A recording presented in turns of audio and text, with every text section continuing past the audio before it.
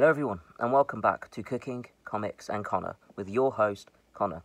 Like every episode, I take the theme from the previous How to Read video and I pick an aspect and cook a dish based on it. Uh, this week's theme is everyone's favourite sitcom star, Wanda Maximoff, also known as Scarlet Witch. Hi again, here for another reminder.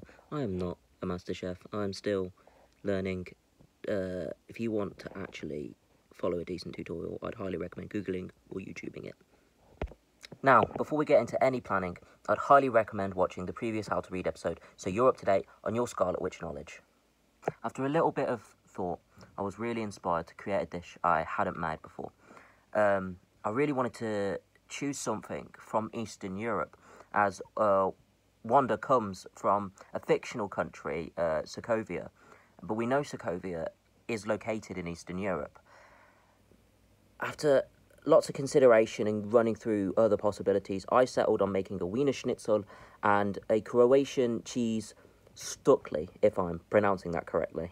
First on my list of things to make was the cheese stuckli. Unfortunately, though, it wasn't a big success. I think I messed up when making the dough. The final product, instead of being cheesy, it was instead doughy and bland.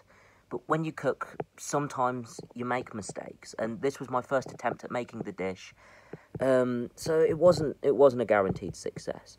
I'll definitely try to this dish at a later point, and if you want to see any updates on my skills or any reattempts at making a dish, I'd highly recommend uh, checking out the Instagram link below. This is where we update everything to do with the channel and everything to do with live streams.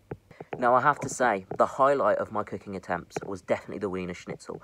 Uh, I think this dish came out really well, so I'm going to run through what I did step by step.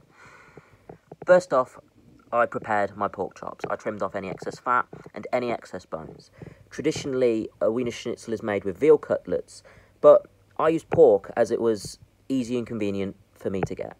Next, I blended up my bread for breadcrumbs, I seasoned up my flour, and I whisked up my eggs, ready so I can pane up my pork. Uh, I also made sure to put my oil on the heat. Once my oil was hot enough, I began frying the pork chops.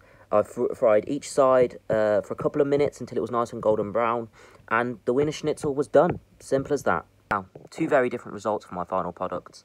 One dish failed, and one came out really tasty and easy to make all in all, I'd consider this a successful dive into Eastern European cuisine, uh, and I will definitely be attempting to make these dishes again in the future.